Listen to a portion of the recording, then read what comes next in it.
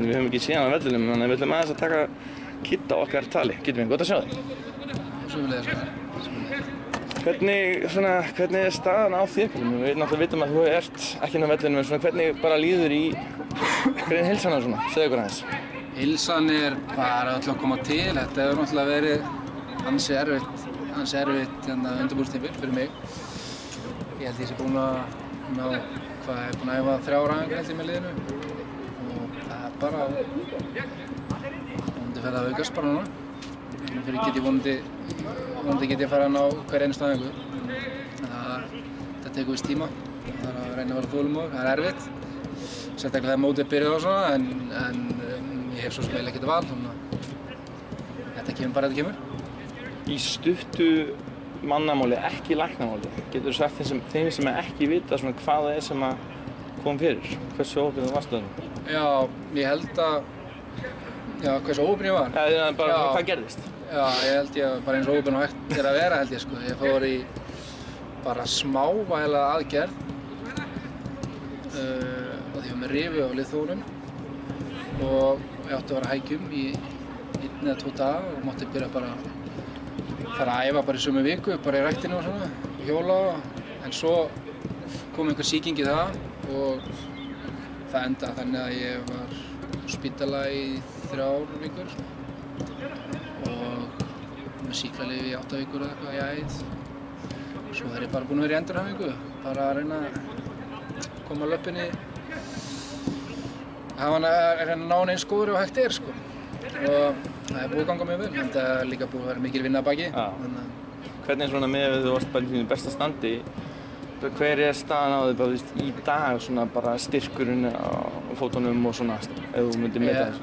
já, hann er það er náttúrulega ekki gott að geta ekki æft sko en, en ég er búinn að náttúrulega taka vel að því í ræktinni og, og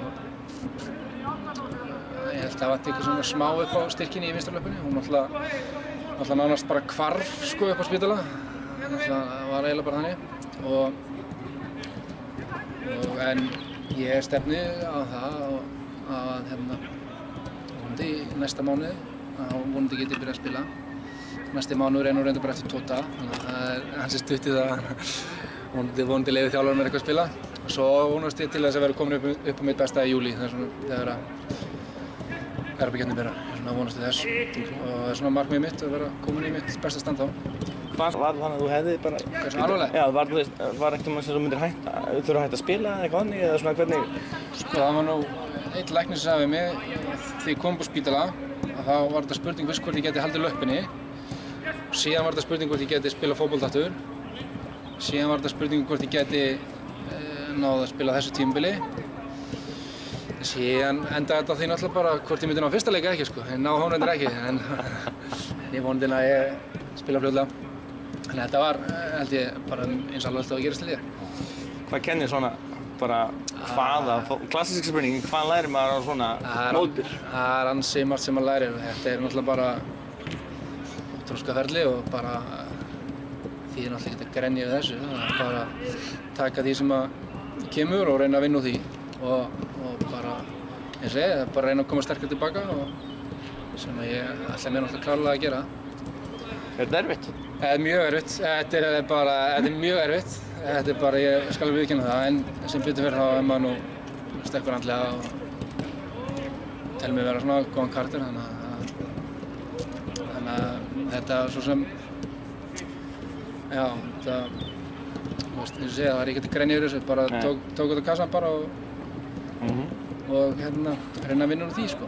Strákurinn, þeir eru hvað að æfa hvað sexinni mjög, hvað er þú núna bara svona, samling, hvað nærið þú að æfa oft við liðin í viku eða svona, hvað nærið það að taka mikið á því í viku, svona, í samhengi?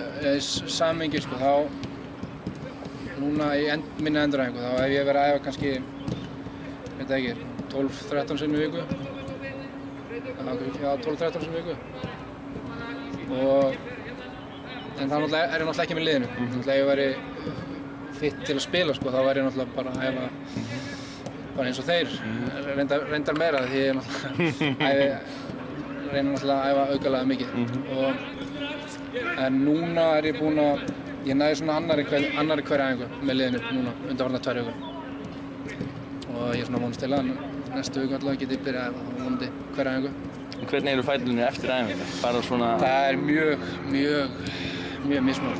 mikill damun? Já, mikill damun. Stundum alveg þá ég er bara, er með að fara fram á rúminu og bara lappa og fá mig kaffibólla, sko. En, það er eins og það er, svo lagast það bara og svo kemur bara næsta æfing. Svo bara spurning hvernig maður vaknar daginn eftir það. en ég get ekki beðið eftir að byrja að æfa hverja æfingu og spila, sérstaklega að spila leikina. Ég bara, það var mjög erfitt að vera í stúkunni á myndi viking, sko. Ég verði að veikina það. Er semst er, er, er, er, erfitt að vera í stúkunni? Það er miklu að vera í stúkunni.